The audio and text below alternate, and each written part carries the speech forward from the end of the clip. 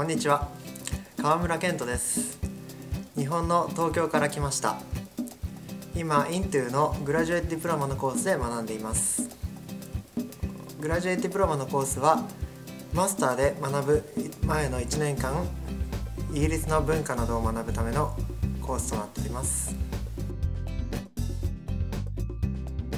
グラジュエットディプロマのコースはほとんど外国人で、えっと、ネイティブの人はほとんどいません。先生も英語の喋れない人たちの扱い方に非常に慣れていて僕たちも安心して環境に馴染んでいくことができます。また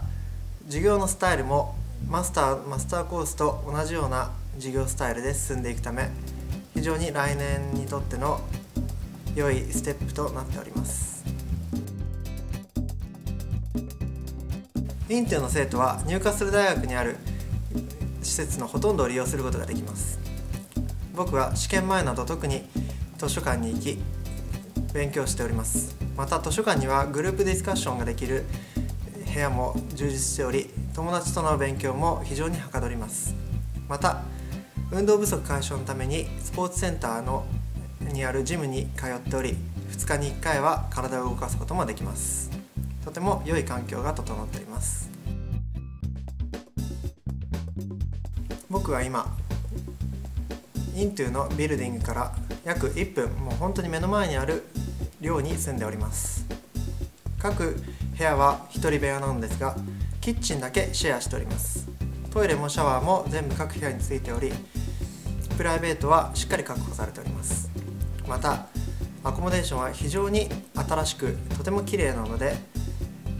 綺麗ですしさらにハウスキーパーも毎日毎日綺麗に掃除してくれます。キッチンでの鍋やお皿などそういった道具も全て揃っており何も不自由なく過ごすことができております。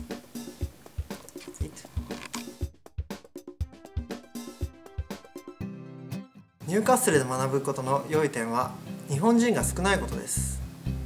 日本人が多いとついつい日本語を喋ってしまうんですけれども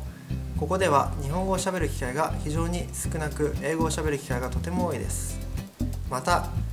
ニューカッスルの人々はとても親切で